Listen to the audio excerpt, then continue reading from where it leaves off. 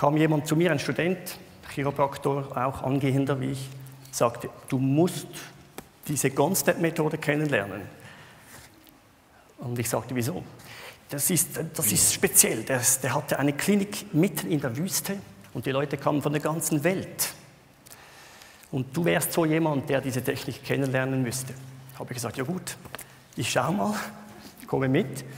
Und da hatte, war ein Chiropraktor, der hatte erst vier Jahre Praxis, ein Französisch-Kanadier, und der hat uns einen Tag lang zu diesem System erklärt, wie das funktioniert.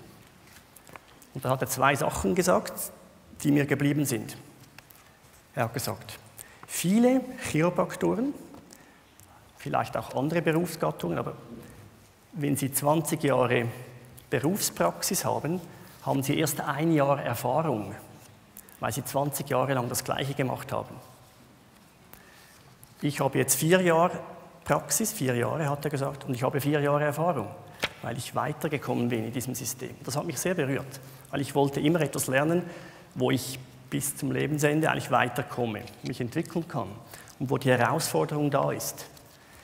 Und dann hat er noch etwas gesagt, wenn ihr Leuten mit, schwer, mit einer wirklichen Migräne helfen wollt, nicht nur so ein Spannungskopf, eine Migräne, müsst ihr diese Technik lernen. So, so hat er mich hineingenommen.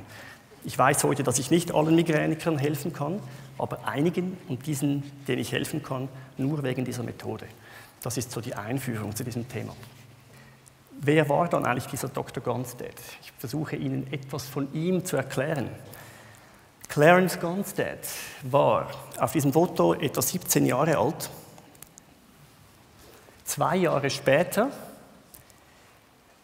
war er angestellt, das, die, die, die, Familie brauchte auch Geld, er wurde angestellt in einer Maschinenbaufirma. Ich weiß nicht genau, was für Maschinen das dort hergestellt wurde, wurden, aber die, die Chefetage dieser Firma entdeckte diesen jungen Typen und sagte, der hat Verständnis, er hat ein Auge fürs Detail und er hat ein Verständnis für die Mechanik. Keine sieben, acht Monate in diesem Job traf ihn ein Schicksalsschlag. Und das Verrückteste ist, dass ein Schicksalsschlag häufig eine Chance ist. Sonst wäre ich jetzt auch nicht hier. Also der hat mit etwa 19 eben dann hat er rheumatoide Arthritis, also eine ju juvenile rheumatische Arthritis oder Polyarthritis. Das ist schwierig jetzt im Nachhinein zu wissen, was er genau hatte, aber es schien eine jugendliche Form des, der Arthritis zu sein, die natürlich eigentlich den Körper auch etwas lähmt, weil viele Gelenke dann nicht mehr funktionieren. Damals gab es keine Möglichkeiten mit den, Klassen, mit den modernen Medikamenten, die man heute hat, einzugreifen. Also eigentlich war man da einfach so wieder auf sich gestellt. Die Ärzte hatten keine Möglichkeit und die Eltern waren verzweifelt. Dann hörten sie von diesem J.B. Olson und sagten, wir gehen zu diesem Chiropraktor, dieser Olson kann ihm vielleicht helfen. Clarence ging zu, zu diesem J.B. Olson und hatte zwei Sachen. Das eine ist, er sprach auf die Behandlung an und er wurde gesund innerhalb von ein paar Monaten. Und das andere ist, dass er eine Begegnung hatte mit der Chiropraktik, die natürlich dann ihn dort hineinnahmen. Und er studierte wenige Zeit später Chiropraktik. Das war natürlich dann schon die Folge des Ganzen. Das ist jetzt ein Erwachsenenbild natürlich von ihm, ein bisschen auch eine Zusammenfassung mit zwei ganz wichtigen Statements, aber ich möchte Ihnen jetzt noch vor diesen Statements, die man jetzt natürlich unweigerlich liest, vor diesen Statements noch sagen, was er 1923 gemacht hat. Er hat abgeschlossen mit diesem Titel Chiroprakt, Doktor der Chiropraktik. Es waren über 500 Studenten, die in diesem Jahr an diesem Palmer School of Chiropractic in Davenport, Iowa, graduierten. Über 500. Und wissen Sie, wie diese Klasse, wie man dieser Klasse sagte? The Crusader Class, das heißt die Kreuzritterklasse. Weil von 500 ungrad Graduierenden waren 280 innerhalb von 16 Monaten in, entweder im Gefängnis oder juristisch verfolgt. Die damalige Ärzteschaft ähm, Das war eine Faust aufs Auge, was die sagten, was sie taten. Und das möchte ich Ihnen einfach nur sagen, diese Episode, um, um Ihnen zu erklären, in welchem Ambiente in den 20er Jahren und 30er Jahren die Chiropraktoren aufwuchsen. Die waren gegen den Strom in jedem Sinne, mit dem, was sie glaubten, sagten, taten. Auch in der Schweiz hat es ein paar genommen, ins Gefängnis übrigens, aber das ist äh, eine Geschichte für sich. Ja. Jetzt, das war die Anfangszeit. Er war relativ schnell erfolgreich, aber nicht sofort, weil er hatte ein paar Sachen, die er zuerst entdecken musste. Er, er äh, arbeitete zuerst in einer Praxis da oben. Ich finde, das muss man sich eben auch mal ein bisschen veranschaulichen. Er war hier hinter diesem Fenster aber innerhalb weniger Zeit waren die Leute auf der Treppe mit irgendeinem Stühlchen im Treppenhaus, weil sie anstanden. Es gab noch keine Terminvergabe wie heute. Die Leute waren bis, zum, bis zur Straße runter vor die Bank, das war das ehemalige Bankgebäude, die standen an. Nicht viel später brauchte er den ganzen Stock hier. Arbeitete, so wie wir es heute gehört haben in diesem Vortrag über, in Indien, über diese Homöopathie, er arbeitete von morgen 8 bis über Mitternacht, weil er noch Hausbesuche machte. Er betreute Menschen in der weltweiten Grippeepidemie, die die Leute dahin raffte, betreute er in, den 20er Jahren, in den 20er Jahren die, Leute, die, die Patienten mit dieser schweren Grippe durch die Nacht hindurch. Also er war bereit, Dedication auf Englisch, er widmete sich den Leuten, er hatte eine Zuneigung für die Leute. Und das wollte ich Ihnen sagen, um diese Anfänge Ihnen ein bisschen näher zu bringen. Er war so ein Mensch, der sich eben hingab für die Leute. Und er sagte auch, etwa alle 15 Jahre muss man die Praxis vergrößern, sonst hat man etwas Falsches gemacht. Jetzt geht es da eben weiter. Er hat dann eine, das war ja noch, da war er noch eingemietet. Hier hatte er eine erste, und das war das in, der, in den ganzen Vereinigten Staaten die erste freistehende Praxis sozusagen der Chiropraktik, also eine Ganztag-Klinik. In dieser Zeit entwickelte er auch sehr viele wissenschaftliche Arbeiten, Beobachtungen am, am, Röntgenbild, auch aus dem Seziersaal, wo er häufig hinging, um, diese, um zu studieren, wie die, wie die Bandscheiben etc. aufgebaut sind. Also er war so ein, ein Typ, der sehr wissenschaftlich arbeitete, sehr viele Beobachtungen machte und daraus Schlüsse zog. Und dann einfach noch, noch die letzte Klinik, also dann 1964, da war er im Pensionsalter. Wenn wir in die Pension gehen, dann hat er noch die dritte Klinik bauen lassen. Das war eine Klinik, äh, die war für vier Vollzeit-Chiropraktoren, hatte die Platz. Also hier hat es zwölf Behandlungs... Ups, sorry. Zwölf Behandlungsräume, da, diesen Stift brauche ich. Da hat es für vier Chiropraktoren jeweils in diesen Flügeln jeweils drei Behandlungszimmer, äh, eine, ein Wartezimmer, Wartezone für 105, mit 105 Sitzen, riesig. Und weil die Leute von überall kamen, mussten sie hier im, im Motel untergebracht werden. Das ließ er bauen von einem der größten Architekten der 60er Jahre der USA erster Indoor Swimming Pool in den USA in einem Motel. Also es war wirklich, der Typ hat wirklich groß gedacht. Und das wollte ich Ihnen zeigen. Das ist ein bisschen spektakulär, aber auch, es sagt etwas aus über ihn. Da sieht man noch die Wartezone, einfach um einen Eindruck zu haben. Und jetzt, was sollten Sie über die Wirbelsäule wissen? Etwas kleiner Abriss. Die Wirbelsäule ist zuerst einmal unser Hauptgerüstteil, der uns aufrechterhält, oder? Die 24 Wirbel bilden eine Kette, eine sehr dynamische Kette. Die muss beweglich sein, aber wenn wir jetzt uns fortbewegen oder uns irgendwie bewegen, dann sind wir eigentlich stabil im Rücken. Der Rücken ist so wie der Quer, der Längsbalken, der, der tragende Balken und drumherum Kopf, Arme, Hände, Füße, die Extremitäten bewegen sich um diese stabile zentrale Achse. Man sieht auch schon auf diesem Bild ein bisschen diese Öffnungen hier. Das ist da, wo eigentlich die Nerven dann austreten. Und die Chiropraktik konzentriert sich eigentlich genau um diese Zone, dort, wo die Nerven austreten.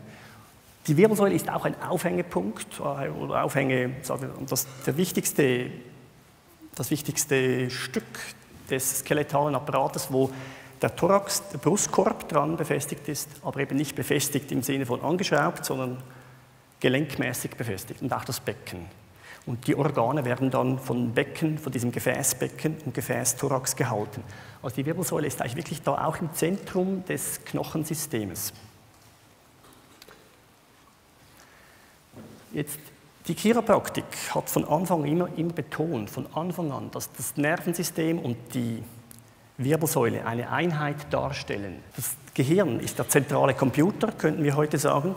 Die Impulse gehen durch das Rückenmark, also durch das Zentrum. Das Rückenmark ist in der Wirbelsäule drin, wird geschützt von der Wirbelsäule.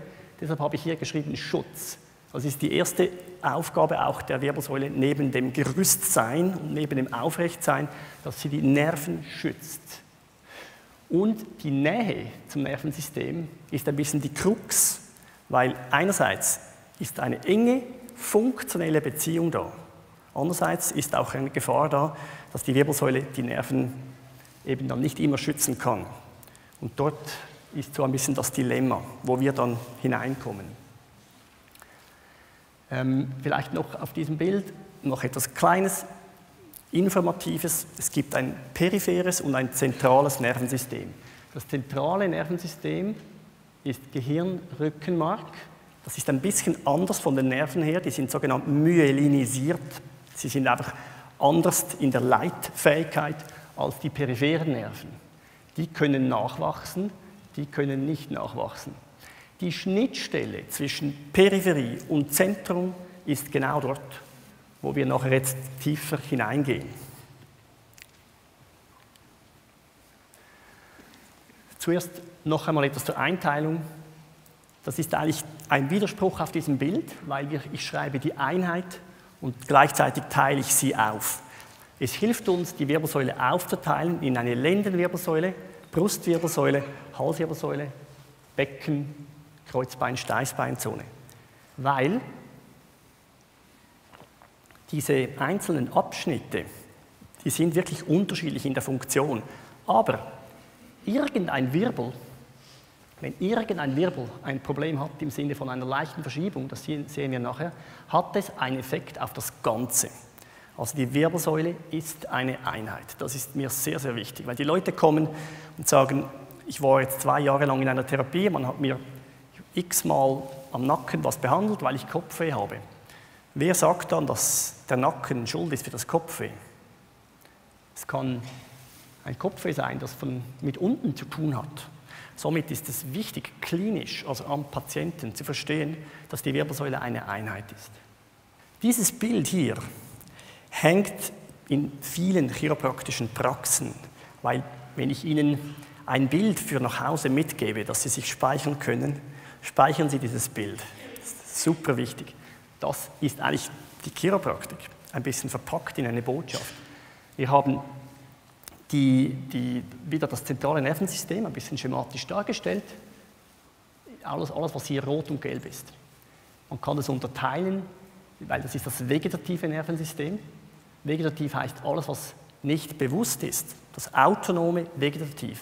Autonom, weil wir das nicht steuern können. Die Verdauung verdaut von, von selbst. Die Nieren filtrieren und detoxifizieren uns von selbst. Die Ausscheidung geht eigentlich auch von selbst. Und die Sinnesorgane funktionieren auch, ohne dass wir ganz bewusst daran denken müssen. Das ist das vegetative System aufgeteilt in einen Parasympathikus, sagt man dem, Parasympathikus. Das heißt neben und der Sympathikus, das Zentrum hier.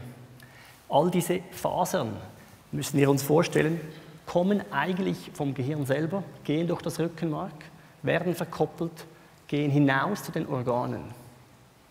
Und warum ist das für die Chiropraktik so wichtig?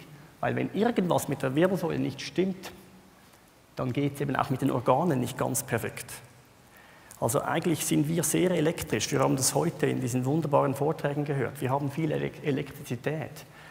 Und die, die erste Generation der Chiropraktoren, die waren sich dessen extrem bewusst, wie wir eigentlich elektrisch sind und wie die Kommunikation zwischen Hirn, Gehirn und Peripherie ist. Und von Peripherie wieder zurück zum, zum Gehirn. Das ist fantastisch. Und wenn diese Impulse, muss ich nochmals kurz zeigen, einfach diese Impulse, die hier durchgehen, und paarig, paarig pro Segment austreten und uns versorgen und auch wieder zurück die Impulse ins Gehirn. Wenn da was nicht stimmt, dann ist die Gesundheit eigentlich nicht mehr ganz gegeben. Und aus chiropraktischer Sicht ist die Gesundheit optimal, wenn diese Impulse hier fließen, weil jede menschliche Zelle, das ist wirklich so, kriegt direkt oder indirekt über Hormon, äh, Hormone, kriegt sie Informationen, was sie tun muss. Soll sie sich teilen oder nicht teilen? Soll sie ein Protein produzieren durch den genetischen Code oder nicht? Soll sie ihn ausdrücken oder nicht? Und das alles ist eigentlich vom Nervensystem gesteuert. Und deshalb waren die Chiropraktoren eben in diesen ersten 20, 30 Jahren des Berufs so weitsichtig und behandelten eben nicht nur Rückenweh. Deshalb waren sie auch im Konflikt mit den Ärzten. Sie waren viel zu breit eigentlich, aber eben so, wie sie sein müssten. Und Dr. Gunstead war so ein Typ, der hat das so gesehen. Der sagte, wenn irgendwo was eine Interferenz ist, irgendwo etwas nicht durchgeht, ist die Gesundheit des Patienten eigentlich nicht mehr gegeben. Das ist noch einmal ein Bild, das Sie bitte nach Hause nehmen können, mental, aber nur noch das. Es kommen noch mehr Bilder, aber diese zwei, das letzte und dieses, weil das ist nochmals eine zentrale Botschaft. Wir sehen jetzt hier ein bisschen mehr Details. Das ist eben diese Schnittstelle. Sie sehen die Wirbelkörper, Sie sehen diese Öffnung, die, die heißt Foramen intervertebrale oder man könnte sagen Zwischenwirbelfenster. Dadurch laufen Nerven, Gefäße, Venen, Arterien, Lymphgefäße und das Ganze ist eingebettet in Fett. Und jetzt gibt es da noch diese gelben Linien, das sind Quer, Querbänder. Also das Ganze hat die Kompartimente. Und wenn eben, die Bandscheibe ist jetzt hier weggenommen, ich komme nachher auf die Bandscheibe, wenn etwas hier schwillt, irgend, irgendwas ist entzündet, irgendwas schwillt, dann haben wir Druck auf den Nerven. Dann können diese Impulse nicht mehr richtig laufen und dann beginnen manchmal schon sofort, manchmal erst mit Verzögerung Symptome. Die Symptome kommen nicht ab dem Moment immer, wo was hier losgeht, weil der Nerv kann noch eine gewisse Zeit gut so funktionieren. Dann sagen mir die Patienten, wieso habe ich jetzt plötzlich diesen Schmerz? Ich habe ja nichts falsch gemacht in letzter Zeit. Also die, die Geschichten sind meistens schon länger da. Ich komme nachher auf das. Hier sieht man noch etwas. Oben, ist, ist das Gelbe hier ist der Spinalnerv. Vorher habe ich gesagt, wo, wo das Ganze eigentlich austritt aus dem Rückenmark. Die Spinalnerven haben zwei Aspekte. Eingehende, das wäre dieses größere Feld hier, und ausgehende Nerven, also motorische Nerven, die sagen, ein Muskel muss sich kontrahieren oder, oder eben wieder loslassen. Oder auch der Darm muss jetzt etwas machen oder er muss wieder loslassen. Das ist die Motorik, die ausgehenden Informationen. Und interessanterweise das größere Feld hier, da, dieses größere gelbe Teil, ist, was eingeht. Das Ganze ist aber gebündelt in einem einzigen Nerv, aber eigentlich ist es im Nerv drin unterteilt. Und das erklärt, warum gewisse Patienten, wenn sie Druck haben hier in diesem Loch, haben sie manchmal nur motorische Probleme. Patienten sagen, ja, ich habe, trotzdem ich Magnesium esse, wie weiß ich was, habe ich Krämpfe in den Beinen. Die Muskulatur, wenn da Druck ist in diesem, in, um diesen Nerv herum, die beginnt zu fest zu arbeiten. Sie macht spontan Krämpfe. Oder jemand sagt, ich habe keine Krämpfe, aber ich habe, da wären wir hier oben, ein komisches Gefühl in der Hand oder im Arm. Die Medizin geht dann sofort auf die Stellen los, oder? Karpaltunnelsyndrom, da geht man sofort auf das Zeug los. Aber man muss immer schauen, von wo kommen die Nerven. Das ist ganz wichtig. Und immer zuerst die Wirbelsäule anschauen, bevor man sofort sich auf die Symptomstelle stürzt. Jetzt kommen wir noch einmal ein bisschen mehr zurück auf die Gunstead-Chiropraktik. Idealerweise sollten zwei Wirbel etwa so aufeinander sitzen, wie wir das hier auf diesem Schema sehen. Die Linien, die Clarence Gunstead begann zu zeichnen, die repräsentieren die Ebene des Wirbels. Er zeichnete ganz viele Linien, über tausende von Röntgenbildern natürlich, wie, wie der Wirbel eigentlich steht. Aber ich sage es jetzt schon vorweg, ich werde mich dann wiederholen. Wir werden nie von einem Röntgenbild eine Diagnose machen. Die Diagnose des verschobenen Wirbels, Subluxation, kommt gleich, Die Diagnose geschieht am Patient. Die Richtung, wie der Wirbel verschoben ist, der, diese Richtung und die korrektive Richtung dann, wie wir das korrigieren müssen, sieht man aus dem Röntgenbild. Das ist eine schematische Darstellung einer idealen äh, Komposition eines Bewegungssegmentes. Hier sieht man die ganze Halswirbelsäule. Einfach mal, jetzt haben wir eben wieder etwas rausgenommen. Das gilt natürlich für alle Wirbelsäulenabschnitte. Die Linien, die die Ebene der Wirbel repräsentieren, diese repräsentativen Linien, die sollten irgendwo hinter dem Nacken langsam zusammenlaufen, konvergieren, weit hinten. Und das habe ich auf Hunderten von Röntgenbildern habe ich gesehen, wie das eben nicht ist. Also das sind wenige Patienten, die das mir bringen. Wenn das so stimmt, dann stimmt meistens auch das Nervensystem. Diese Leute werden tendenziell weniger Schwindel haben, sie werden tendenziell weniger Kopfweh haben, tendenziell weniger Kribbelgefühle in den Armen, tendenziell weniger Spannung im Thorax, weil schon mal das stimmt. Das ist sehr wichtig. Jetzt wieder ein kleiner Sprung. Ich habe jetzt von dieser Öffnung gesprochen, Zwischenwirbelloch, von den Nerven, Nervensystem, Funktionen, die enge Zusammenarbeit Nerven und Wirbel.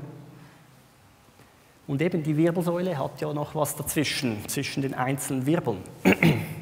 Sozusagen die Reifen. Ich habe sogar noch was mit, mitgenommen hier, wie das, das Ganze ist eigentlich wie ein aus Lamellen gemacht. Das ist jetzt natürlich ein, ein, ein ganz äh, bescheidenes Beispiel, aber das sollte sich bewegen in alle Richtungen.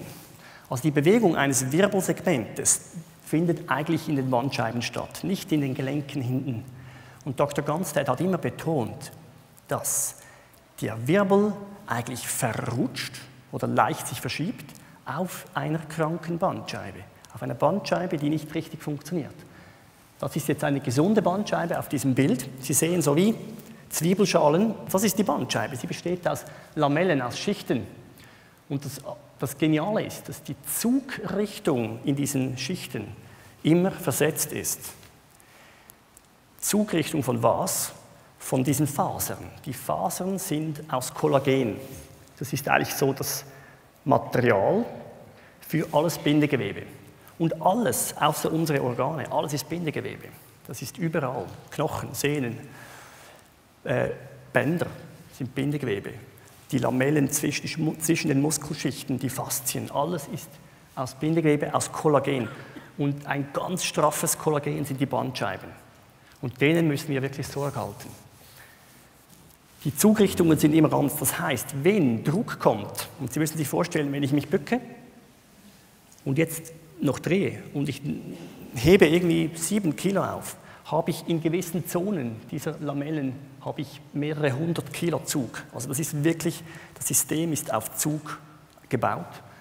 Und dieser Kern, den wir hier drin sehen, der hilft eben auch. Das ist so wie eine schelartige Flüssigkeit, heißt Nucleus pulposus. Dieser Gel drückt eigentlich immer nach außen und macht, dass die Lamellen straff sind. Das wäre jetzt eigentlich ein bisschen eine schlabbrige Angelegenheit. Da hat es keinen Tonus, kein Turgur.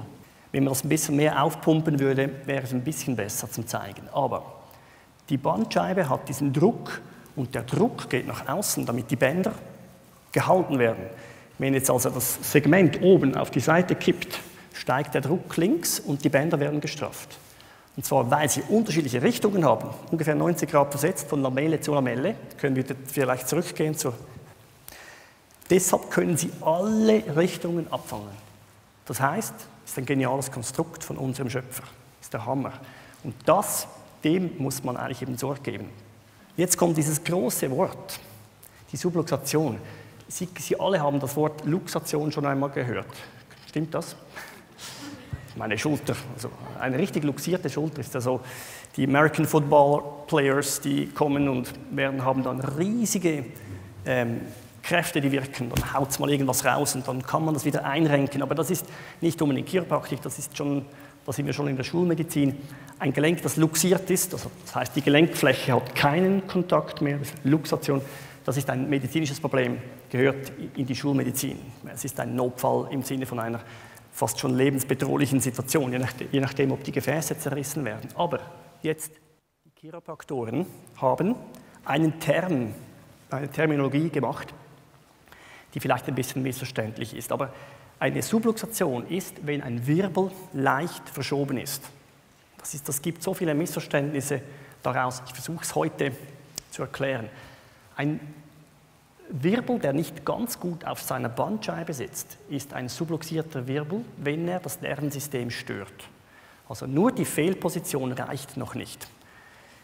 Die, die Definition wäre ein verschobener Wirbel, der blockiert ist, weil auf einer Bandscheibe, die verletzt wurde oder immer noch verletzt ist, kann ein Wirbel sich nicht richtig bewegen. Es gibt eine Blockierung.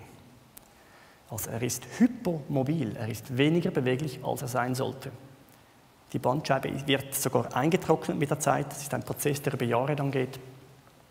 Und das Element Druck auf die Nerven ist wichtig. Erst wenn die Schwellungen in dieser Zone, die wir vorher gesehen haben, in dieser Zwischenwirbelzone, wenn die Schwellungen da sind, dann haben wir eine Entzündung. Und die Entzündung drückt indirekt oder sogar direkt über die Bandscheibe auf den Nerven. Und der Nerv kann dann seinen Job nicht mehr machen. Dann werden Impulse gestört. Das ist die Subluxation. Und Dr. Gonstead sagte immer, die Subluxation geschieht eben nicht hinten in den Gelenken, sondern nicht hier, sondern hier. Die Bandscheibe ist eigentlich die Ursache. Und die ganze, ganze Methode basiert darauf, dass wir die Bandscheibe wieder zum Reparieren bringen. Die positive Botschaft, oder? Wir haben hier in diesen sehr speziellen Tagen dieses Kongresses immer die positive Botschaft. Also man kann was machen. Hier noch einmal schematisch, diese meist nach hinten, unten gekippten Wirbel. Und das ist ganz, ganz minim manchmal. Warum ist das, warum ist das minim? Und Sie sehen schon hier, ich brauche wirklich beides, Sie sehen schon hier, dass die, das Zwischenwirbelloch natürlich kleiner wird, so teleskopisch verkleinert wird, sobald dieser Wirbel nicht richtig sitzt. Und dann gibt es eben viel schneller Druck. Und das ist das, was über dem Wirbel passiert. Ein Dr. Gunstead postulierte, dass wenn ein Wirbel verschoben ist, muss ein anderer Wirbel für das kompensieren. Also weiter oben muss es kompensieren, weil wenn der Wirbel nach hinten kippt, würde ich theoretisch ein bisschen nach oben schauen. Damit der Kopf wieder mit der Augenebene horizontal ist, muss eine Kompensation stattfinden. Jeder subluxierte Wirbel fordert eine Kompensation. Und wenn die, wenn die Subluxation nicht korrigiert ist, was denken Sie, was passiert? Die Kompensation wird irgendwann auch zum Problem, wird dann irgendwann zur Subluxation. Das ist der Grund, warum viele Erwachsene eigentlich mehrere Subluxationen haben. Wenn man die früh erkennen könnte, könnte man sehr viel verhindern. Hier ist ein bisschen die Zusammenfassung. Wir sehen diesen sechsten Halswirbel hier mit seiner repräsentativen Linie. Die kreuzt die siebte Linie relativ nahe an der Wirbelsäule, näher als die fünfte auf der sechsten. Also rein theoretisch ist dieser der am ehesten subluxierte Wirbel. Die Frage ist ja eigentlich, jetzt haben wir vorher diese Bandscheibe gesehen, die eben Risse haben kann oder wie auf dem Bild vorher kann was nach außen drücken, die, die, sie kann ihren Turgor verlieren, sie kann ihre Funktion verlieren. Was macht das? Und das sind schon Trauma, Traumata. Heute Morgen bei dem Vortrag über die Homöopathie, da geht es auch viel um Stoffwechsel. Und die Chiropraktik sagte, jede Krankheit kommt aus, aus einem Dreieck von Problemen.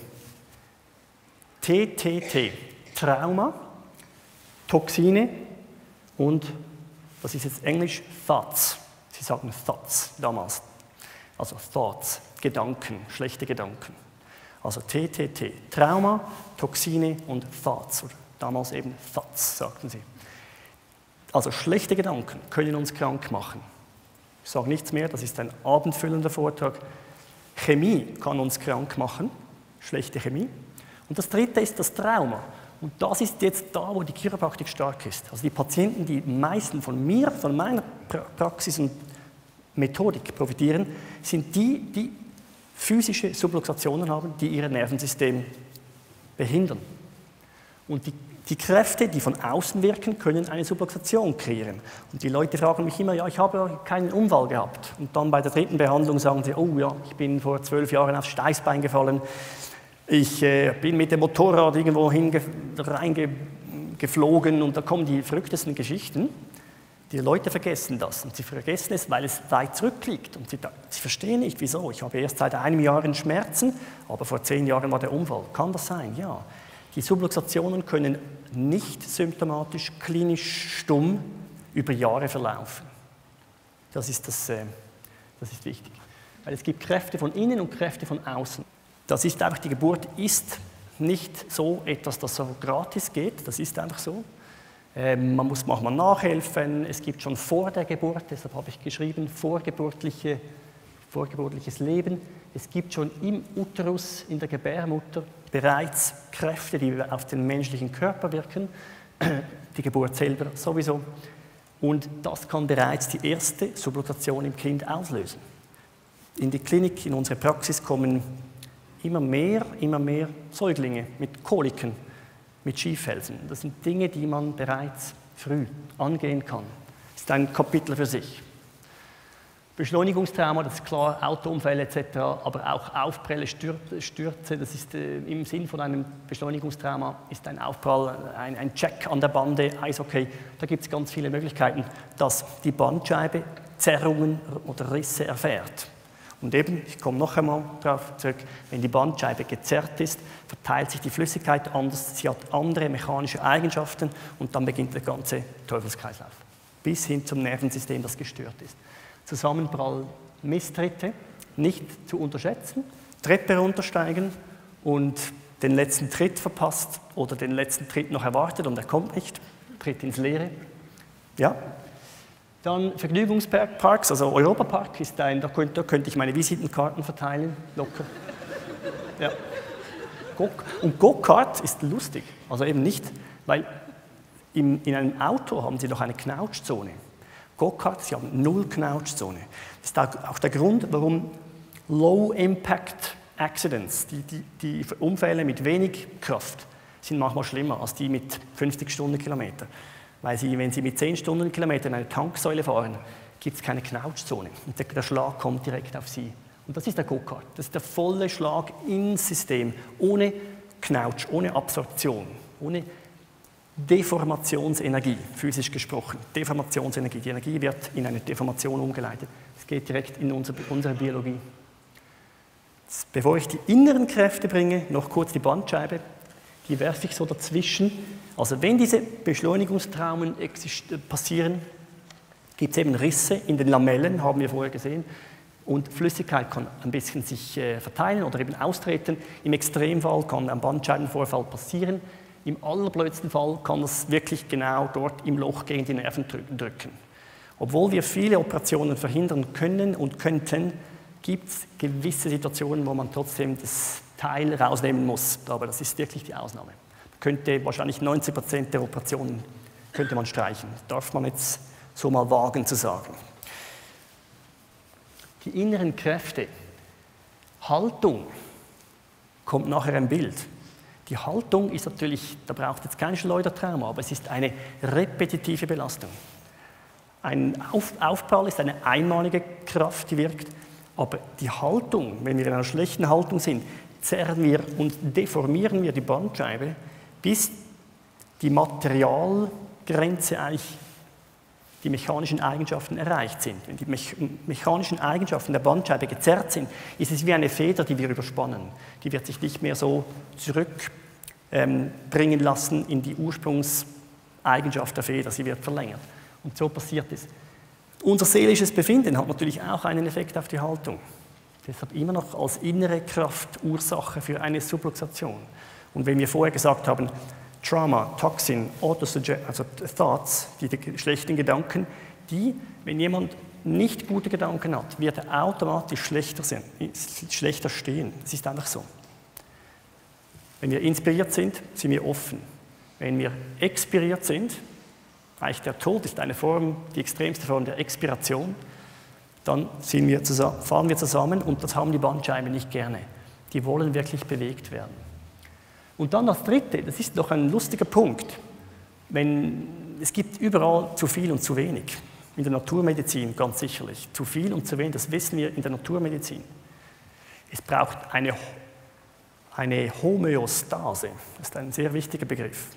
Es braucht ein Gleichgewicht. Da sind wir wieder bei dieser Waage, dieses schöne Bild, das im Saal hängt. Wenn man zu viel trainiert, ist es nicht viel besser, als wenn man gar nichts macht. Im Extremfall sage ich sogar mal lieber, lieber der Couch Potato, der nichts macht, als der, der völlig übertreibt. Sieben Stunden, diese Frauen zwischen 30 und 50, die sind wirklich crazy im Moment. In dieser Praxis, die ich habe, kommen diese Damen, die sind völlig übertrainiert. Die haben Bauchmuskeln, ich könnte nicht mithalten, also nicht einmal zehn Sekunden. Die machen Trainings, die haben hier Sixpacks. Ja, das gibt auch eine muskuläre Disbalance, das ist das Gegenteil. Also, das gibt auch Schäden an den Bandscheiben. Also Krafttraining ja, aber eben im richtigen Sinne. Ich gehe kurz durch, das darf man mal so richtig genießen, dass der Kopf eigentlich vier bis sechs Kilogramm schwer ist, wenn er in Neutralstellung ist. Oder, also, oder sagen wir, der Kopf selber, das Eigengewicht ist etwa vier bis sechs Kilo. Wenn man nur schon 15 Grad neigt, was ich sage jetzt mal schon fast die normale Körperhaltung des heutigen Menschen ist, wenn er einfach so steht und, und geht und sitzt, dann haben wir schon das Doppelte. Bei 30 Grad ist das Dreifache, bei 45 Grad sind wir über, bei über 20 Kilo. Und jetzt, da, da muss ich was dazu sagen, wenn wir schon von Smartphone sprechen.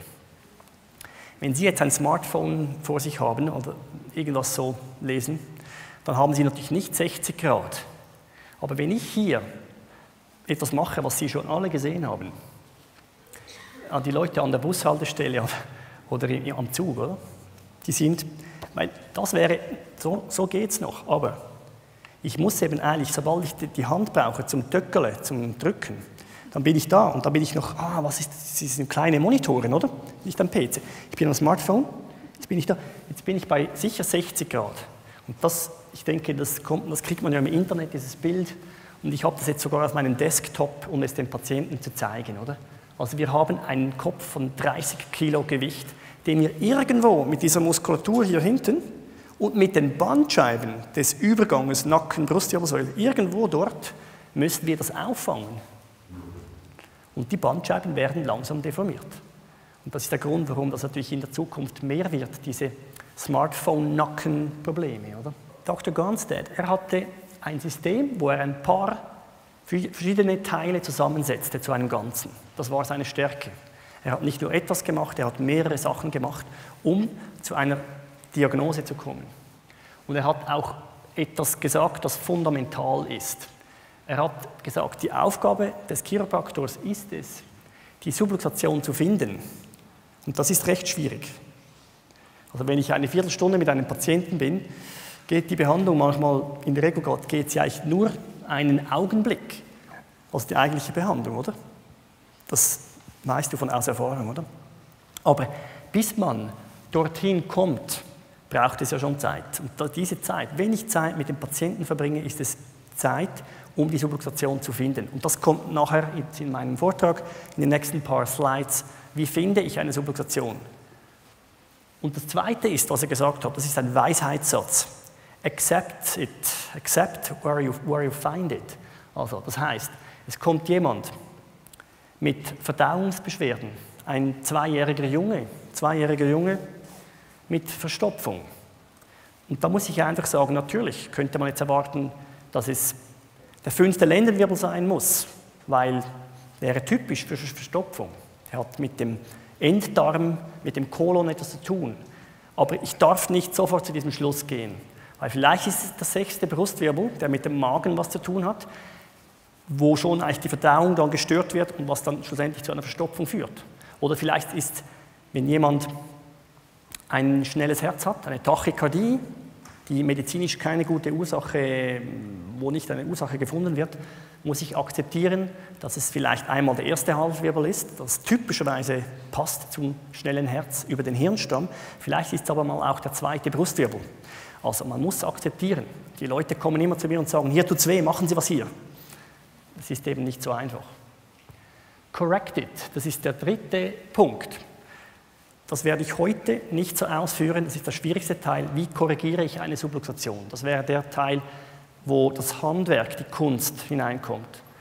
Vielleicht, weil ich es jetzt gerade im Kopf habe, corrected heißt nicht etwas knacken, es kann schon tönen, aber es geht nicht die Leute irgendwo zu manipulieren. Wenn ein Patient mir sagt, können Sie die Manipulation nochmals machen, dann bin ich schon pedantisch. Ich sage, ich mache keine Manipulationen in meiner Praxis. Vielleicht es gibt ein, zwei Ausnahmen, wo man unspezifisch manipulieren kann, aber schon das Wort ist ja ein schreckliches Wort. Wir, wir justieren, das ist so wichtig. Wir korrigieren etwas. Warum korrigieren wir? Weil wir etwas in der Bandscheibe verändern. Wenn wir nur einfach irgendwas in der Wirbelsäule rumdrehen, diese Rotationsmanöver, die im Namen der Chiropraktik von ganz vielen Therapeuten, nicht nur von Chiropraktoren gemacht werden, dann verändern wir nichts in der Statik. Sie, haben, Sie sehen diesen Turm hier, der schiefe Turm von Pisa, der weltberühmte. Also die Statik, wenn wir die verändern wollen, dann müssen wir die Bandscheibe korrigieren. Das ist das Blume, sein Blumenstrauß an die, an die Menschheit. Das Bild übrigens auf der rechten Seite ist auch noch schön, weil wir sehen ja nicht nur diesen Turm, wir sehen dann noch die Natur. Und das ist schön, oder? Der Turm kann sich nicht selber korrigieren. Man müsste wirklich eben das Fundament ähm, aufbauen. Aber die Wirbelsäule, die kann sehr viel selber korrigieren, weil das Ziel der Wirbelsäule ist, dass die Ebene der Augen gerade ist. Was unten nicht stimmt, kann bis oben korrigiert werden. Das ist auch ein super schöner Mechanismus der Natur. Wir haben heute Morgen gehört, Krankheit ist nicht nur schlecht, ist ein Teil der Gesundheit. Ein gesunder Körper kann auch krank werden. Das ist sehr viel, das ist ein Riesensatz. Also Krankheit ist eigentlich der Anfang, wieder, wieder gesund zu werden. Bevor wir krank werden, sind wir eigentlich krank. Ja. Und dies, dieses Bild hier zeigt eigentlich die korrektive Fähigkeit, die die Wirbelsäule hat. Dieser Mensch hier, hat der Schmerzen? Muss überhaupt nicht Schmerzen haben. Dieser Mensch hier hat vielleicht keine Schmerzen und jemand, der eine perfekte gerade Wirbelsäule hat, hat Schmerzen. Das heißt, auch da wieder, wir wollen nicht irgendwie Wirbelsäulen begradigen in der Chiropraktik, sondern die Subluxationen finden, akzeptieren wo, korrigieren und dann müssen wir sie in Ruhe lassen. Das ist noch schwierig. Es gibt Chiropraktoren, die vielleicht sagen, ja, kommen Sie die nächsten sieben Wochen zweimal pro Woche. Woher weiß ich, was nach vier Behandlungen los ist mit Ihrem, mit Ihrem Körper? Das ist ja, Ihr Körper ist sicherlich intelligenter als meine, my, my educated mind, mein, mein, mein Gehirn. Also Ihr Körper weiß mehr. Ich mache was und dann schauen wir mal, was Ihr Körper macht. Also Leave it alone war wieder so ein Weisheitssatz von Dr. Gunstead. Er hat vielen Chiropraktoren gesagt, hört auf, die Leute einfach weiter zu behandeln. Lasst sie in Ruhe, lasst sie ausheilen. Das ist die Heilung, da kommt man dann, die Heilung ist ein ganz wichtiger Faktor. Der Körper, komme ich nachher, heilt selber, das ist das Verrückte. Wir müssen ihm nur die Hindernisse wegnehmen. Das sind jetzt eben diese, ich sage jetzt mal die Puzzleteile. Das erste ist, dass man einiges beobachten kann bei Patienten schon von außen. Wie steht jemand, wie geht jemand, wie bewegt sich jemand. Das Zweite ist, vorher haben wir von Entzündungen gesprochen, um die Bandscheibe, in diesem Fettgewebe, um die kleinen Gefäße, die durch die Löcher durchgehen. Dort kann es Entzündungen haben. Übrigens in diesen Löchern, die wir auf dem wunderschönen Bild gesehen haben, kann es einen Stau geben, auch durch Gefäße, die gestaut werden. Sobald es Druck gibt, stauen die Gefäße, diese Lymphgefäße. Und da gibt es noch mehr Schwellung. Und das ist der Grund, warum jemand alle zwei Monate einen Hexenschuss haben kann. Es geht wieder, schwillt ab, kommt wieder, je nach Bewegung. Und dann geht es wieder los. Also die Wärmemessung sagt uns etwas über die Entzündung. Die Palpation ist ein Ausdruck für Abtasten, man kann abtasten ohne Bewegung. Man spürt nur, wo hat es Schwellungen im Unterhautgewebe. Man kann das abtasten. Wie ist die Textur, die Beschaffenheit der Haut? Ist es ein bisschen schweißig, glitschig, ölig oder trocken? Das sind so die ersten Sachen, die man schon von außen tasten kann. Und dann die Bewegungspalpation, das wäre hier. Da bewegt man die Wirbelsäule in gewisse Richtungen, und schaut, wie fühlt sich das an, die Qualität der Bewegung. Das ist die Kunst, das abzutasten und braucht einfach viel Erfahrung. Manchmal kann man sogar nicht viel tasten, wenn jemand ganz steif ist. Da muss man sich auf andere Sachen verlassen.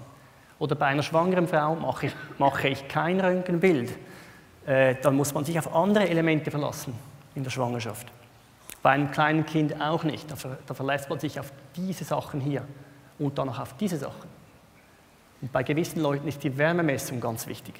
Und so kann man in diesem Ganznet-System kann man jonglieren, sich bewegen zwischen diesen Elementen und hat immer mehr Sicherheit, so zu treffen, dass man das richtige Segment trifft, in die richtige Richtung korrigiert und somit der Körper sich selber von innen aus heilen kann. Das ist jetzt eine Beobachtung.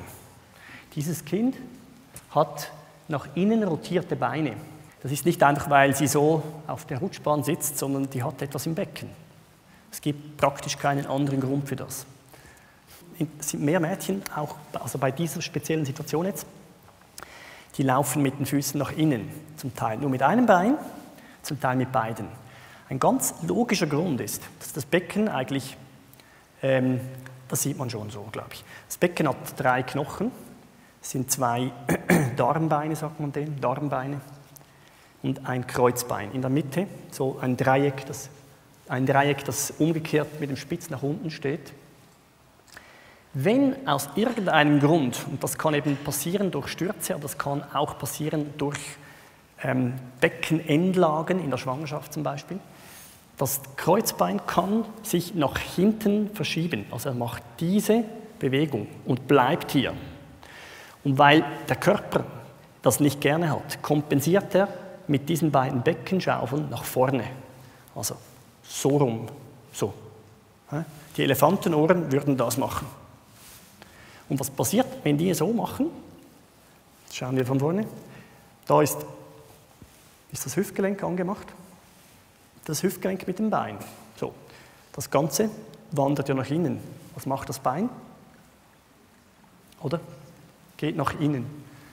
Und das gibt es auch bei einseitiger Situation. Das sind dann häufig Stürze in den ersten fünf Jahren. Sturz auf das Gesäß und dann kippt das eine die eine Beckenschaufel nach außen und somit haben wir ein einseitiges X-Bein. Diese Kinder straucheln mehr, diese Kinder sehen auch etwas tapsiger aus und das kann man, da kann man dran arbeiten. Das geht nicht mit zwei Sitzungen. Man muss das schrittweise korrigieren und auch dokumentieren. Dieses Mädchen sieht, wenn sie nicht behandelt ist, sie kam erst mit 18 zu mir, sieht dann etwa so aus. Das ist nicht gestellt, das ist nicht absichtlich, so läuft man eigentlich nicht rum. Aber das ist für Sie normal, um Ihnen einfach zu zeigen, das ist die Beobachtung, die in unserem System wichtig ist. Da können wir schon mal eine, eine Art Diagnose machen, was, ist, was könnte falsch sein. Und auch hier muss man akzeptieren, wo man die Subluxation findet. Das ist das Kreuzbein in 90 Prozent der Fälle. Und wenn man das an einem Seminar erzählt, und jemand sieht das, sagt er, ah, spannend, das macht Sinn. Und am nächsten Tag in der Praxis sieht er genau diese Situation. Und das Problem ist L5 und nicht das Kreuzbein. Also das ist, man muss da offen sein. Das Zweite, ich habe vorher in diesem Schema mit diesem Kreis erklärt, dass man die Wärme messen kann. Diese kleinen Geräte hier, etwa so faustgroß, die messen die Temperatur. Und zwar messen sie rechts und links der Wirbelsäule. Also man geht so der Wirbelsäule entlang mit diesen beiden Schneckenfühlern, wenn man so sagen will.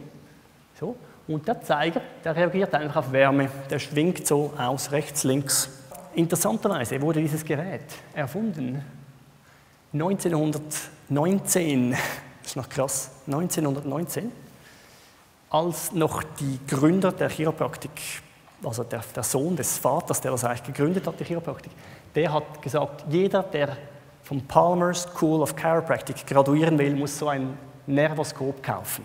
Und das war damals eine Unsumme. Das war damals, glaube ich, irgendwie 2000 Dollar. Also es war, war 15.000 hm, Franken, also wirklich viel, viel, viel, viel. Also das brauche ich mit jedem Patienten bei jeder Behandlung. Das gibt mir eine Idee, wo sind Entzündungen in der Wirbelsäule, die mir sagen, welches Segment könnte in etwa das Problem sein. Schematisch sieht das so aus, dass man über die Wirbelsäule fährt und so Peaks sieht, denen sagt man Breaks. Hier sieht man so einen Break auf der Höhe eines Segments, in der Regel auf der Höhe einer Bandscheibe. Aber da muss man nicht so pedantisch sein. Das kann sein, dass es hier einen Break gibt und das Segment hier unten ein Problem hat. Aber es sagt mir vor allem, wann ich nicht mehr behandeln soll. Das ist so wichtig. Leave it alone, der letzte Teil, wann ist, wenn die Subluxation korrigiert ist, dann muss man dann, dann sieht man sowas, dann, dann sieht man so eine Kurve. Das sind normale Wärmeschwingungen der Muskulatur. Das sind Schwingungen, die eben Peaks sind, die von ganz lokalen Entzündungen des Gewebes um die, um das, um die Öffnung herum, da, da ist eine Entzündung drin. Hier ist die Palpation. Ähm, das ist die Dynamik, dass wir versuchen zu verstehen, welcher Wirbel ist blockiert, weil wir versuchen möglichst nicht einen Wirbel zu justieren, der sich schon gut bewegt. Also man, die Finger sind eigentlich die Verlängerung des Wirbels. Der Wirbel wird so ertastet in der Dynamik. Wo, wodurch ist die Blockierung? Welchen Vektor braucht es, um die Korrektion zu machen? Das wäre eben ein Video gewesen, aber das ist völlig okay, dass der jetzt da nicht drin ist, sondern nur das Bild. Da sieht man nochmal ein bisschen etwas, was ich auch schon gesagt habe, diese Schwellung. Sie hat hier eine Schwellung im Bereich des, der oberen Brustwirbelsäule. Das ist nicht Fett, obwohl sie ein bisschen korpulent ist. Das ist nicht Fett, das ist Flüssigkeit im Gewebe unterhalb der Haut durch einen Stau wegen diesen Löchern, weil sie auf mehreren Segmenten praktisch geht nichts mehr durch. Und da gibt es dann wie einen Stausee über der Wirbelsäule. Ja. Das, das, sehen Sie häufig. Das sehen Sie häufig, diese kleinen Höckerli, diese, diese Humps in dieser Zone. Und das ist das Einzige, was ich kosmetisch machen kann in meiner Arbeit. Diese Buckeli, nicht gerade jetzt in diesem extremen Fall nicht unbedingt, aber die, viele dieser verschwinden, wenn man da mit der Bandscheibe ganz der Technik korrigiert. Die Korrektion, das ist das Corrected, ist spezifisch. Ich habe gesagt, keine Manipulationen, spezifisch mit dem Finger oder mit einem ganz spezifischen Punkt der Hand an einem bestimmten Punkt des Wirbels einen Impuls geben und versuchen, den einen Wirbel auf sein Fundament zu setzen den dritten auf den vierten Brustwirbel, auf die Bandscheibe. Und das ist wirklich besser, dass wir das sinnbildlich sagen. Das ist schwierig zum Zeigen. Wenn man immer das Gleiche tut im Leben, dann wird man auch nur das erhalten, was man eigentlich schon hat. Also wenn ich mit dem Patienten manchmal merke, ich komme nicht weiter, gibt es eigentlich nur zwei Lösungen. Es ist manchmal schwierig, dass das die Patienten akzeptieren. Ich muss sie weiterschicken an eine andere, eine andere Form von Therapie, oder ich muss sie loslassen, das ist noch einmal ein Thema. Oder ich muss etwas anders machen. Und das war, glaube ich, die Stärke von Dr. Gunstead. So hat er seine Sachen, seine, seine Ideen und seine konkreten Entscheidungen herausgedüftelt. Ein zehnjähriger Junge hat ein gelähmtes Bein seit zwölf Tagen, kann, oder zu 90 Prozent kann nicht mehr gehen. Was ist passiert? Dieser Junge war auf einem Heuwagen Damals in den 20er Jahren gab es noch so Wagen, oder? Die Pferde vorgespannt. Und der Heuwagen macht einen Sprung, weil das Rad, gab noch keine Reifen, das Rad kommt auf einen Stein, das ganze spickt drauf, volle Fahrt. Der Junge, der sich auf dem Heu vergnügt, spickt hoch und knallt so mit dem Gesäß auf die Kante des Heuwagens die Ärzte konnten ihm auch dort, sie mussten ihm sagen, das wird sich vielleicht von selber erholen, aber du musst im Moment auch mal im Bett bleiben. Es gab keine andere Methode. Und dann brachten die Eltern ihn zu Dr. Gunstead und der hatte damals noch nicht das gewusst, was ich Ihnen jetzt gerade sage, aber er hat, er hat überlegt, wissenschaftlich, das heißt, was heißt Wissenschaft? Ich beobachte etwas, ein Phänomen, habe ein Fragezeichen, habe vielleicht eine These, und dann mache ich etwas und schaue, ob diese These funktioniert. Das ist eigentlich Wissenschaft. Nicht die Doppelblindstudien, wo eben eigentlich schon die Studiengründer zum Teil blind waren, weil die Doppelblindstudie ist, die geht für Medikamente gut eigentlich, aber eben für das reale Leben geht es eben nicht. Aus vielen, vielen Gründen funktioniert es nicht. Und was hat er beobachtet?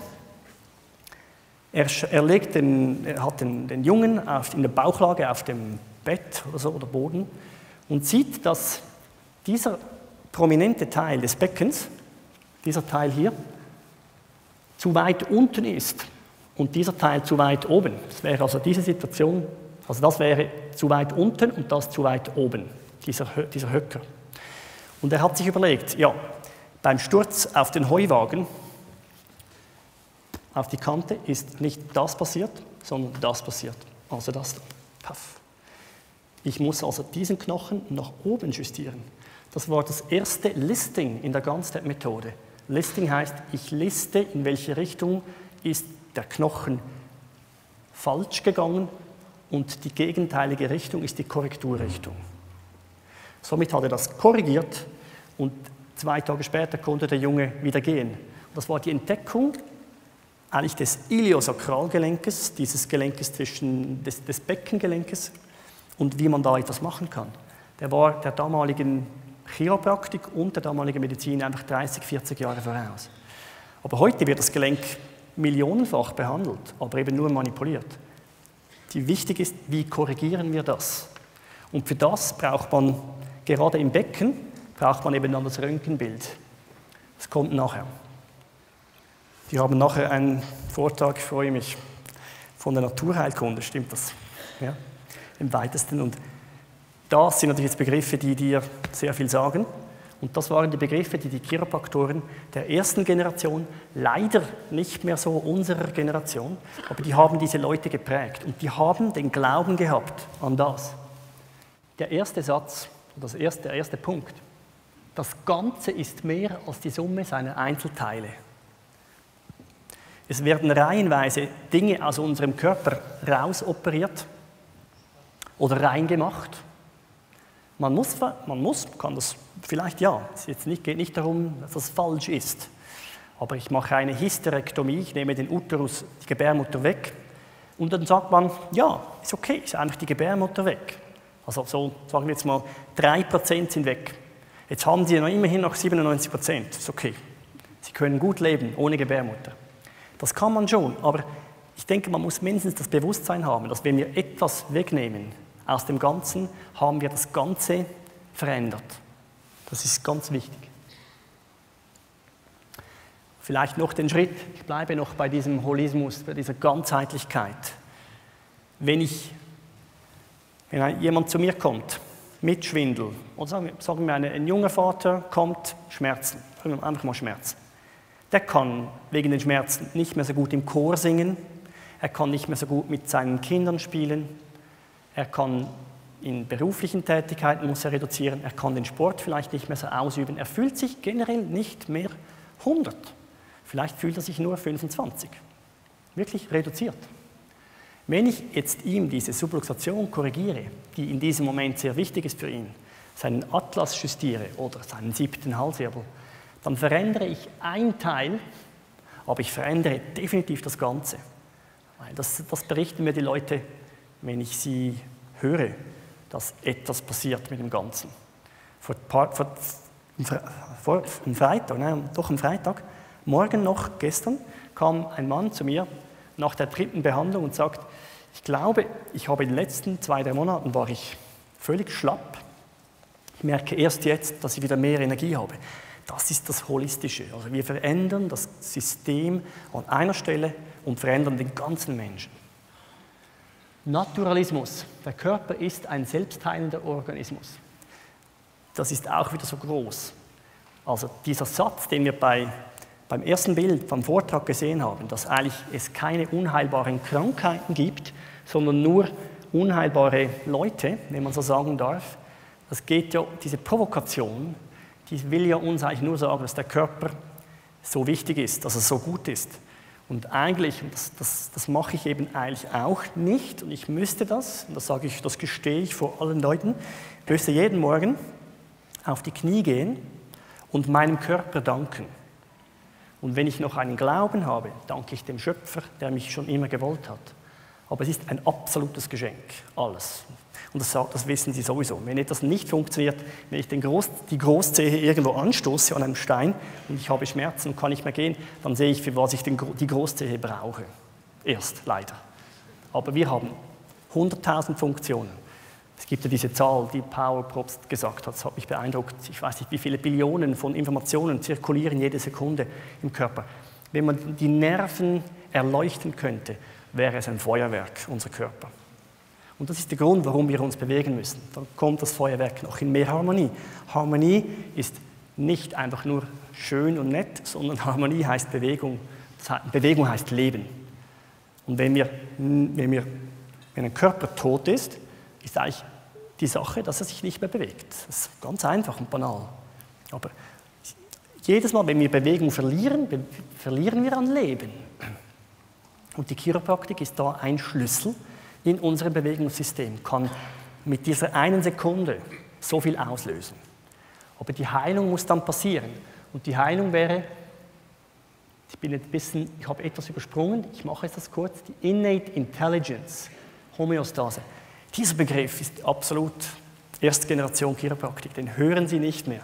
Jetzt bin ich ganz rückständig oder vielleicht fortschrittlich und bringe dieses Wort, das ich vielleicht in meinem eigenen Beruf nicht mehr so leicht aussprechen kann, wie ich es vor diesem wunderschönen Publikum aussprechen kann. Innate Intelligence. Und das war, was Paul, Paul am Telefon gesagt hat. Er hat gesagt, bei unserem Kongress geht es um wissenschaftliche Arbeiten und Erkenntnisse, aber die Wissenschaft ohne das Göttliche, was ist das?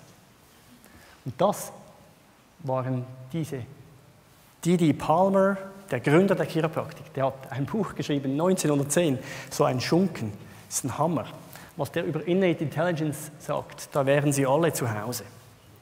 Innate Intelligence ist dann, da wird es dann sehr spirituell.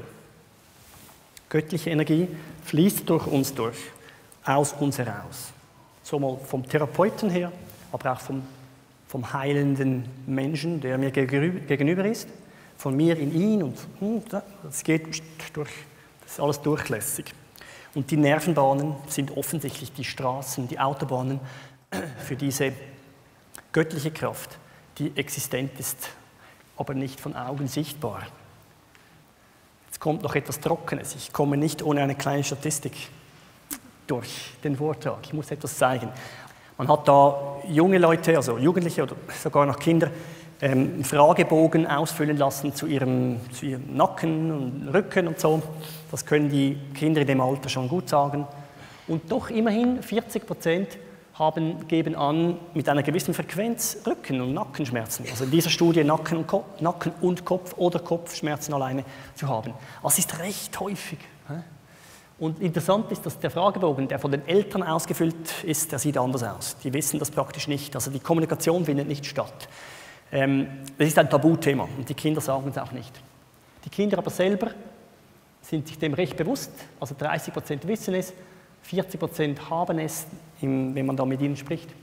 Und das ist jetzt auch noch interessant, diese 60 Prozent, etwa 130 Kinder, man hat die untersucht, mechanisch abtasten, Palpation, was ich vorher gezeigt habe, und hat einfach aufgeschrieben, wer hat eine Blockierung, beispielsweise eines Halswirbels, speziell jetzt in diesem Bereich, wer hat das nicht? Und es wurden 60 Prozent wurden biomechanische Störungen festgestellt durch Abtasten von Chiropraktoren, die das gut konnten. Und das ist doch spannend, weil da sieht man, wie viele potenziell Symptome entwickeln werden in der nächsten Zeit, oder? 40 Prozent sind symptomatisch, 20 Prozent noch nicht aber sie werden in dieses tendenziell dort hineingehen. Ähm, das heißt, konkret gibt es eine Korrelation zwischen diesen mechanischen Störungen und Symptomen. Recht auffällig. Also die Schlussfolgerung ist eigentlich, dass die Rückenprobleme, wir sprechen jetzt noch nicht vom ganzen System, aber Schmerzen, die die Menschen mit 20, 30, 40, 50 haben, die haben wahrscheinlich die Ursache viel früher. Das ist der Grund, warum ich in zwei Wochen einen Vortrag halte in, in Uster, im Spital Uster, für die Hebammen. Ähm, dort geht es um die Säuglinge. Was machen wir chiropraktisch für die Menschen im ersten Lebensjahr, um diese Dinge hier zu verhindern, die später herauskommen. Auch Stürze in den ersten zehn Jahren selbstverständlich, ist nicht nur die Geburt. Aber es ist doch recht eindrücklich. Und da haben wir jetzt aber noch nicht unbedingt die Nackengeschichte mit dem Handy, zumal diese Studie vor, über, vor etwa zehn Jahren stattfand. Also das ist, das ist wirklich nur so einfach, was die Menschen so weltweit mit sich herumtragen. Da versuche ich jetzt ein bisschen durchzugehen. Es gibt einen Knick etwa ab zehn Jahren. Dann beginnt es mit den Symptomen auffällig. Also die, ab zehn Jahren beginnt es. Da kommen auch die schwereren Schulrucksäcke und so. Das wissen Sie vielleicht. Äh, ein, schon ein Drittel der Sekundarschüler, Schülerinnen kennt Rückenschmerzen. Das war jetzt in Amerika eine Studie mit relativ vielen Kindern über längere Zeit, 15 Jahre. Und doch 20 Prozent der Primarschüler hat also bereits bewusst Symptome. Dann wurden noch die Beckengelenke, das sind jetzt eben diese Gelenke hier, wurden untersucht. 40 Prozent. In nicht symptomatischen, also nicht, äh, nicht leidenden Kindern haben 40 Prozent findet man Blockierungen dieser Systeme. Also alles potenzielle Subluxationen. Okay? Die Schweizer Studie, die, wurde, die ist jetzt relativ, noch relativ neu, die ist fünfjährig, die wurde mit über 1000 Kindern, eine schöne Fallzahl, weil einmal im Jahr gibt es in der Schweiz einen Gratisuntersuch für Kinder im schulpflichtigen Alter, die einige Chiropraktoren, also über 100 Praxen in der Schweiz durchführen. Da hat man große Fallzahlen und da sieht man, weil natürlich diese Kinder zum Teil auch gehen, weil sie etwas haben, ist die Statistik höher als die 40 Prozent von Schweden. Also da findet man bei 50 Prozent findet man bereits Kinder, die selber Rückenweh-Erfahrungen haben. Auch wieder da geht es nach 10-jährig los. So 13 bis 16 ist der Peak. Und ähm, 19 Prozent haben eben mehrfach pro Woche Schmerzen. Also 19 Prozent, 20 Prozent haben mehrmals pro Woche Beschwerden. Also das finde ich schon noch krass. Bei uns gab es einen Schulzahnarzt, aber es müsste den Schulchiropraktor geben. Wirklich, für das, wirklich. Ja. Ist eben Zukunft, oder? Jetzt der letzte, der fünfte Punkt. Ähm, Dr. Gronstedt war technisch im Röntgen weit voraus. Er hat in den 30er, 40er Jahren die, die Techniker, die Röntgenfirmen, die diese Maschinen und die Kassetten und die Filme, die Verstärkerfolien gebaut haben. Ich hoffe, das kann man übersetzen. Einfach das Technische der Röntgen. Es gibt Kassetten, wo die, die Filme reingelegt wurden, damals noch mit Chemie entwickelt. Diese Sachen hat er entwickelt, weiterentwickelt, weit voraus. Der hat super Ganzwirbelsäulenaufnahmen gemacht findet man heute praktisch nicht besser, als er es damals gemacht hat. Und er hat eben Linien gezeichnet, um Subluxationen zu finden und zu bestätigen vom Untersuch her. Er hat immer gesagt, wir behandeln keine Röntgenbilder, wir behandeln die Patienten natürlich, aber wir finden Hinweise. Das Becken ist das Einzige, was ich jetzt heute bringe, die Analyse des Beckens. Es gibt die genau gleiche Analyse für die anderen Wirbelsäulenabschnitte. Das ist ein junger Patient. Man zeichnet eine Grundlinie der Oberschenkelköpfe, die Femur-Grundlinie, macht einen, eine Senkrechte dazu. Da sieht man schon mal, wie, ist, wie kommt das da bei der Schambeinfuge, wie kommt diese Linie durch. Das gibt schon mal einen Hinweis für die Verdrehung oder nicht, oder eine leichte Verdrehung des Beckens. Dann zeichnet man ähm, oben und unten am Darmbein eine Linie, die ist parallel zur Femur-Grundlinie, also dieser Grundlinie des Beckens und senkrecht zu dieser Schambein-Senkrechte. Und das muss geometrisch wirklich so stimmen, sonst kriegt man falsche Resultate. Es wird dann nachher gemessen. Die rechte Seite im nächsten Bild, jetzt haben wir alle, alle, alle diese horizontalen Linien.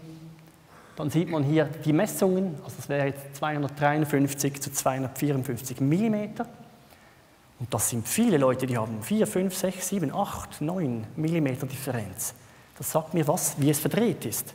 Weil Dr. Gonstedt an die Projektion dachte. Das Becken liegt so im Raum. Wenn also eine Beckenschaufel so sich dreht, von hier, das wäre so das normale Becken, die Beckenstatik, es dreht sich was so, dann ist in der Projektion, wenn man da einen Schatten projiziert, das Röntgenbild ist ein Schattenbild, wird die Distanz, je länger, je mehr ich diese Subluxation habe. Je mehr ich so nach oben gehe, desto kürzer wird diese vertikale Distanz. Kann man das verstehen? Das gleiche ist, wenn die Beckenschaufel, das Elefantenohr, nach, von hinten her nach innen kippt, wird die Distanz breiter, oder? In der Projektion.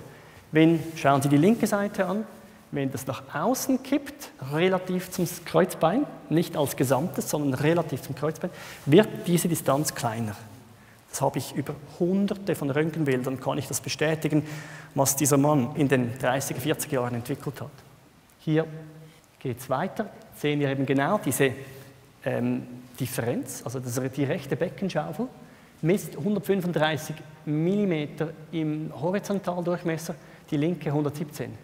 Diese 17 oder 18 mm, das ist 2 cm, das ist, recht, das ist recht genug, oder? Das sagt mir, wie das verdreht ist. Und dann muss ich herausfinden am Patienten, ist es dieses Gelenk oder dieses, das ich korrigieren muss. Und da muss man es korrigieren. Eine 38-jährige Patientin, 10 Jahre Ischias, Schmerzen, das sind Schmerzen im Bein, im hinteren Teil des Beines bis in die Waden. Es begann vor zehn Jahren in Schottland bei einer Wanderung. Fünf Jahre später, also vor fünf Jahren, hatte sie eine Schwangerschaft mit Schwangerschafts-Ischias, also Beinschmerzen in der Schwangerschaft. Also das Problem war schon zehnjährig, aber sie hatte das erst durch die Schwangerschaft, ist dann wieder richtig hochgekommen. Man diagnostizierte eine Beckenringlockerung und eben man diagnostizierte eine Schwangerschafts-Ischias, was eigentlich der Patientin nicht viel bringt. Das ist einfach eine Diagnose. Drei Jahre später ähm, beginnt sie zu trainieren für einen Halbmarathon, kann aber ab 10 bis 15 Kilometer nicht mehr laufen, das Bein blockiert. Vor einem Jahr bei einer längeren Zugfahrt invalidisierende Beinschmerzen wieder, Wadenschmerzen, diverse Abklärungen. Sie war beim Phlebologen, Gefäßspezialist, nichts gefunden. Rheumatologie, Blut, alles okay. Gelenke okay. MRI, nichts Großes. Manchmal findet man was, man findet noch schnell mal was auf einem MRI, aber nichts. Der, Im Untersuch, in der ganzen Chiropraktik, schauen wir natürlich zuerst das Becken an, aber dann auch weiter. Aber ihr, ihre rechte Beckenseite war definitiv blockiert. Also dieses rechte Gelenk hier fühlte sich blockiert an, war in der Thermografie, also in dieser Messung mit dem Gerät, zeigte an, also alles deutete darauf hin, dass dort ein Problem ist. Und dann habe ich ihr den Fuß noch untersucht. Irgendwie, das zieht mich dann manchmal vom Becken zum Fuß, weil wir müssen in Ketten denken. Also wenn wir Holismus sagen, habe ich vorher erwähnt, also dieses ganzheitliche. Für uns in der Anatomie ist ein Knie ein Knie. Wir denken beim Knie, Sie alle denken an das, oder? Einfach so. Aber ein Knie in der Natur ist ein Sprunggelenk, Knie, Beckengelenk, dritter Halsjahr. Der Name des Knies ist so. Das noch krass. Der Name eines, eines Ellbogens in der richtigen funktionellen Medizin, in der Chiropraktik, ist der Name viel mehr. Handgelenk, Ellbogen, Schulter, sechster Halsjahr. Linke Hirnhälfte, Kiefergelenk, runter zum Beckenboden. Also das ist genau das, das verknüpft sein. Und es zog mich ein bisschen zum Fuß hin und ich schaue den Fuß an, der fühlt sich, das Sprunggelenk ist wirklich blockiert. Und dann sehe ich eine Narbe am Schienbein, also an, an der auf der Haut des Schienbeins, in dieser Zone und sage, was haben Sie gemacht? Was denken Sie? Eine riesen Narbe und ein blockierter Fuß. Was denken Sie? Ich kicke gegen eine Scheibe, weil ich wütig bin. Die Scheibe öffnet mir das Bein, der Fuß ist blockiert. Mit zehnjährig ist das passiert. Ist noch spannend. Dann hat sie mir gesagt, ich war bei diesen Therapeuten und Ärzten und ich habe ihnen immer vom Fuß was gesagt, aber sie wollten nichts vom Fuß wissen, weil die Schmerzen irgendwie in dieser Zone ja, sind. Und und da wurde mir wieder bewusst, wie wichtig es ist, in diesen Ketten zu denken. Also ich könnte jetzt hier dieses äh, Iliosakralgelenk, dieses, dieses Beckengelenk justieren, aber das allein reicht noch nicht. Also der Fuß musste auch behandelt werden. Noch kurz die Linien. Da sieht man auch wieder diese Veränderung. Äh, 100, 107 zu 114 in der horizontalen, 226 zu 231. Das, einfach, das sagt mir, wie ich es korrigieren muss. Fallbeispiel 2, ganz kurz. Auch jemand mit ganz starken Kreuzschmerzen. Da wollte ich Ihnen einfach noch sagen, wie, wie grotesk diese Verschiebung sein kann. Es ist einfach noch extremer. Jetzt sehen Sie mal dieses, wenn man es mal auszeichnet. He? Wenn man das so anschaut, würde man sagen, medizinisch, ja, vielleicht ein bisschen eine, eine Coxarthrose, also eine Hüftgelenksarthrose hier, könnte man sagen, das kann man diskutieren natürlich. Aber Das ist das Problem hier, diese Verdrehung. Sehen Sie die Öffnung an im Sitzbein, die ist halb so groß wie diese Öffnung hier. Oder? Und wenn man diese Linien beginnt zu zeichnen, es ist so schön, kann man den Leuten auch sagen, schauen Sie, da ist was. Und die Leute sind so froh, weil man sieht endlich etwas. Noch kurz etwas zum, zum Glauben. Ähm, wer arbeitet mit Therapeuten hier? Oder mit, ähm, wer arbeitet mit Patienten als Therapeut? Oder als Arzt oder irgendwas? Das sind doch einige Leute. Ja, genau. Also die schwierigste Erfahrung ist, dass auch beim bei einem System, das uns überzeugt, dass wir nicht überall den gleichen Erfolg haben. Und ich wollte das einfach noch in die Menge geben, dass der Glaube extrem wichtig ist. Also was, was der Patient eigentlich mit sich bringt an Vertrauen. Dieses, diese Stelle, die etwas mit meinem Glauben zu tun hat, die mich tief erfasst hat, die möchte ich vorlesen, weil sie so wichtig ist, ist aus dem Evangelium. Eine Geschichte, die, die, die so die Begebenheit, die finde ich speziell. Während Jesus auf äh, dem Weg zu, äh, zu ja, muss ich schauen, ja, Jairus war, drängten sich die Menschen um ihn und erdrückten ihn beinahe. Darunter war eine Frau, die schon seit zwölf Jahren an Blutungen litt und bisher von niemandem geheilt werden konnte. Sie drängte sich von hinten an ihn heran und berührte den Saum seines Gewandes. Im gleichen Augenblick kam die Blutung zum Stillstand. Da fragte Jesus, wer hat mich berührt? Und das ist schon noch speziell. Also, es ist logisch, oder? Ich bin umringt von Leuten, die mich alle berühren. Wer hat mich berührt? Als alle es abstritten, sagten Petrus und seine Gefährten, Meister, die Leute drängen sich doch von allen Seiten um dich und erdrücken dich fast. Jesus erwiderte, es hat mich jemand berührt, denn ich fühlte, wie eine Kraft von mir ausströmte. Als die Frau merkte, dass sie es nicht verheimlichen konnte, kam sie zitternd zu ihm, fiel vor ihm nieder und erzählte vor allen Leuten, warum sie ihn berührt hatte und wie sie durch die Berührung sofort gesund geworden war. Und jetzt, das ist jetzt interessant. Vielleicht würde man erwarten, dass dann Jesus sagt, der Gott hat dich geheilt. Oder ich habe dich geheilt, hätte er ja gut sagen können. Er sagt, meine Tochter, dein Glaube hat dir geholfen. Geh in Frieden. Also das ist für mich riesig, weil es, ja, es zeigt mir, wie wichtig der Glaube der Menschen ist, die kommen. In allem, was wir tun.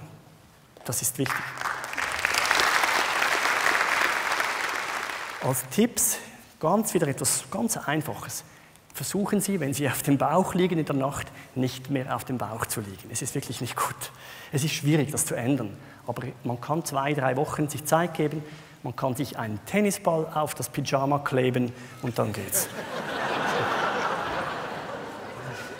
Regelmäßige Übungen, leichte Übungen. Ich sage nachher noch was zu den Übungen.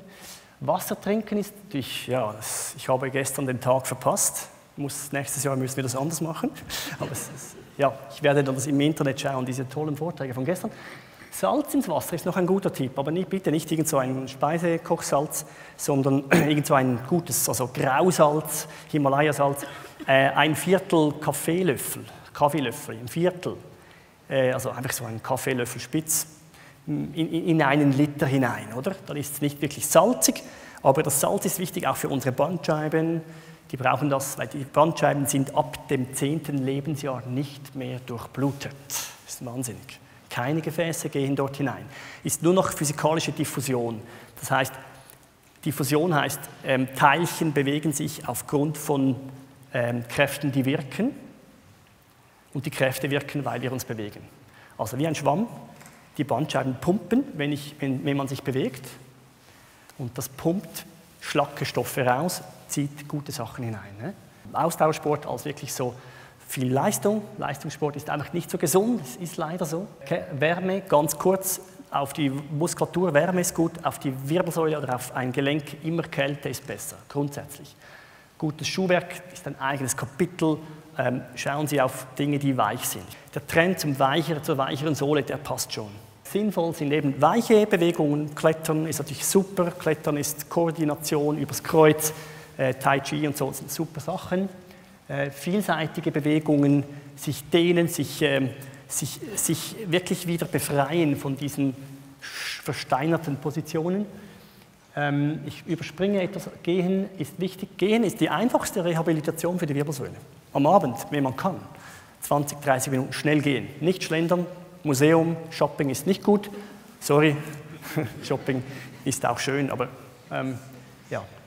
Äh, schlecht sind, wirklich nicht gut, sind so Bauchmuskelübungen, wo man zu viel diese, diese Verkrümmung macht, wo man in die Verkürzung trainiert. Stop, Stop and Go, das wären einfach Sportarten, die schnell sind, Tennis und Squash und so. Nicht so toll.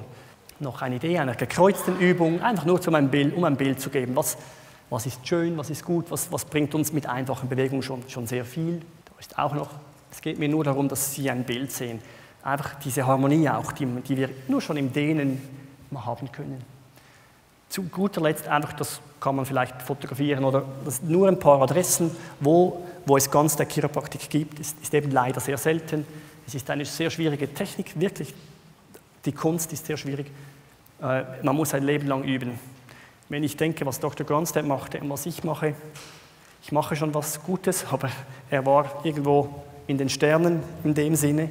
Also wir müssen uns jeden Monat, jeden Tag muss ich aufstehen und sagen, ich will besser sein als gestern. Ich will für die Patienten, nicht für mein Ego, wirklich für die Patienten. Weil, und es gelingt nicht immer auch die Beziehung zu den Leuten herzustellen und die Leute eben nicht als hineinlaufende Subluxation wahrzunehmen, sondern als Mensch. Das ist das Schwierigste.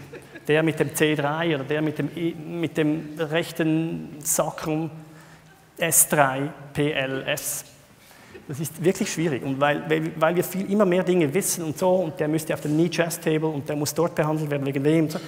und dann wird man nicht mehr, ist das nicht mehr der Mensch. Und es geht um den Menschen und, und in der Ganztag-Chiropraktik geht es sicherlich um den Menschen. Oder? Es geht nicht um ein Durchschleusen von Leuten. Und ich hoffe, dass, dass mir das mehr gelingt in der Zukunft. Die Menschen zuerst einmal als das zu sehen, als das Wunder, was sie sind. Und mit dem schließe ich und danke Ihnen für Ihr Zuhören, für Ihr aktives Zuhören, für Ihre Großartigkeit. Ich bin berührt.